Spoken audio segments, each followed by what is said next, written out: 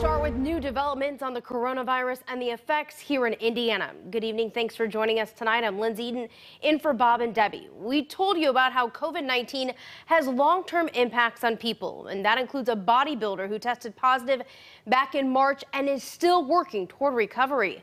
CBS 4's Courtney Crown shares his story. Gary Nance transformed his body several years ago. His hard work paid off in August 2019. I won the Men's Masters Indianapolis City Championship. And then two weeks later, I won the Men's Masters for 60 and up, the uh, Indiana State Championship. COVID 19 transformed his body again. I'll never forget it. They came back in about an hour and a half later and told me I was just flabbergasted. You know, that my left lung was collapsed, and 24 hours earlier, I knocked out 50 push ups in 30 seconds. A week after recovering at home, an ambulance rushed him to the hospital. A ventilator helped keep Gary alive from March 29th through mid April.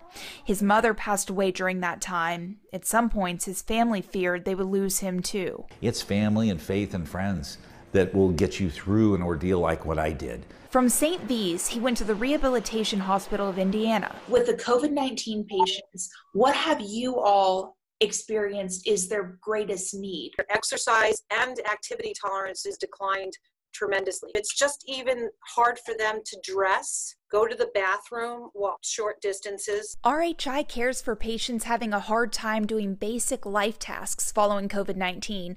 This includes those who then had a stroke or nerve inflammation. The entire body is weak, but it's because the nerves are not communicating to the muscles as well.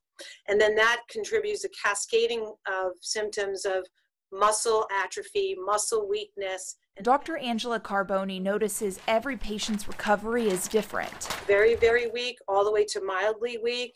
And the mildly weak could have a lot of respiratory issues. Gary still struggles with regaining strength after leaving the hospital. He hopes his story will influence others to stay safe. Don't let your guard down yet. Courtney Crown, CBS 4 News. Dr. Carbone adds COVID 19 patients are seriously struggling with anxiety and depression right now. Many are also complaining of brain fog, describing unclear thinking. Unfortunately, Dr. Carbone says these conditions are common post ICU.